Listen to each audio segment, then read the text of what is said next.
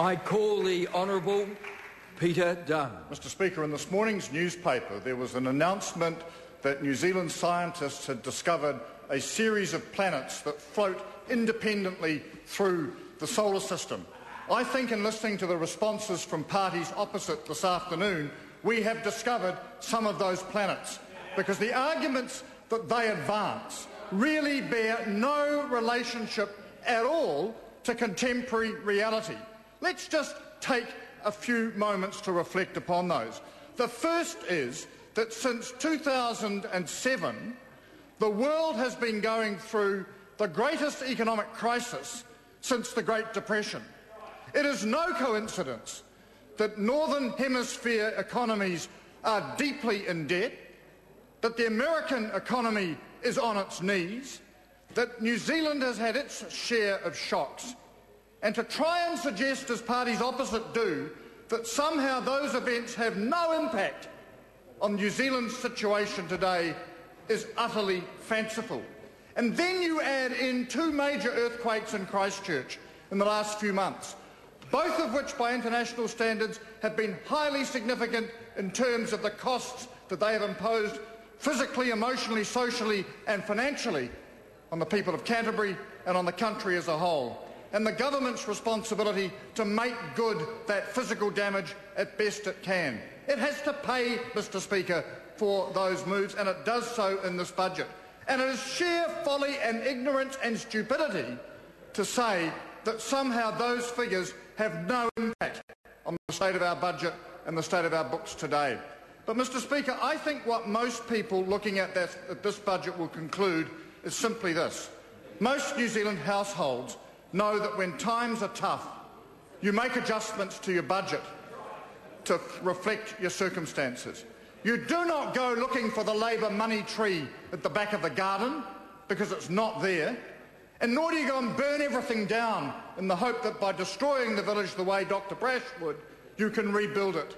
You make prudent, wise adjustments, a little bit of adjustment here, a little bit of adjustment there, but fundamentally enabling you and your family to get through the difficult circumstances and to look forward to a positive future. And that's exactly what this budget has done. Now, before the budget, there was a huge amount of hue and cry about changes to KiwiSaver and about a return to the days of uncertainty in terms of retirement savings provision. In fact, Mr Speaker, the changes announced today are minimal. They have a big fiscal impact, but in terms of individual savers and the certainty around the scheme, they are minimal. And it's worth reflecting on why they've arisen. Very simply, KiwiSaver has exceeded everyone's expectations in terms of its success. It was originally projected to have 700,000 members by 2015. In 2011, it's double that, more than double that, at 1.7 million members. And you cannot therefore acknowledge that somehow there's no additional fiscal cost to the government because of the member tax credit and the kickstart and the other provisions that the government provides as part of the scheme. And so what the government has had to do, quite prudently, is say to secure the sustainability of KiwiSaver for the future, we need to make some adjustments that will have a significant fiscal impact but will not deter significantly the level of saving that's going on. And that's precisely what has happened. Come back to my household analogy. It's exactly what a household would do in similar situations. I happen to believe that the government could go further. I strongly favour KiwiSaver being made a compulsory national savings scheme. And I believe that will happen eventually because I think that then locks in absolutely the security and the future of the scheme and is really what most New Zealanders are looking for and then enables us to have a much more balanced approach to the whole question of retirement saving and long-term provision in the future. Mr Speaker, much was made of the projected changes to the Working for Families regime. Again, sir, a scheme that far exceeded expectations from the time of its introduction in 2004. It has been successful. It has delivered uplift to a number of families. And that's good. But the reality is it's also come at a cost. And I don't think that any of the original authors of that scheme would have acknowledged then that the flavour of the scheme would be as it was today.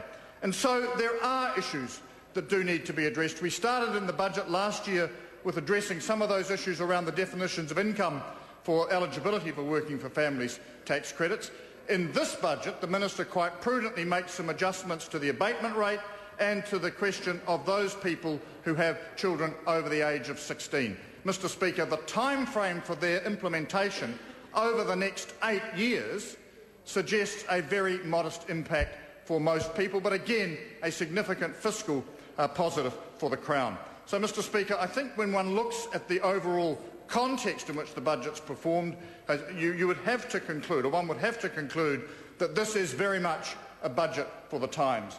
But, Mr Speaker, that's not to say that there were not things that could have been included in the budget. I welcome the additional spending that's going into the health sector. I particularly welcome the $80 million more going into the provision of medicines. That's going to see another 32,000 people get access to the medicines that they need, and on top of the funding advanced in the previous two budgets, means that somewhere in the order of 270,000 New Zealanders now will get more access to medicines than they would have at the time that this government came into office. And so I think that's a tremendous achievement and will be beneficial for a significant number of people who rely on medicines to maintain a good quality of life. But, Mr Speaker, in terms of health, though, I think the next big change we need to start to address is in the area of prevention, and I believe very strongly when we're spending around eight to nine hundred dollars a day keeping a person in a public hospital, that we ought to be moving over time to a free annual warrant of fitness health check, initially for over 65s, but ultimately for everyone in the population, because prevention and the level of expenditure up front to achieve that is far better and far more cost effective than the cure further down the track. Mr Speaker, a lot was said in and around the budget and in the speeches today about cracking down on those people who do not pay their fair share. Well, Mr Speaker, I reject the arguments raised implicitly, because he didn't say it explicitly, by the Leader of the Opposition about tax increases. But I want to tell the House what was the outcome of the additional funding advanced to inland revenue last year to crack down on tax avoidance, tax evasion and people who were uh, simply failing to pay their tax on time. Last year's budget put in place approximately $120 million over a four-year period to put more effort into that particular area of activity. It's already returned $115 million in additional revenue in just nine months.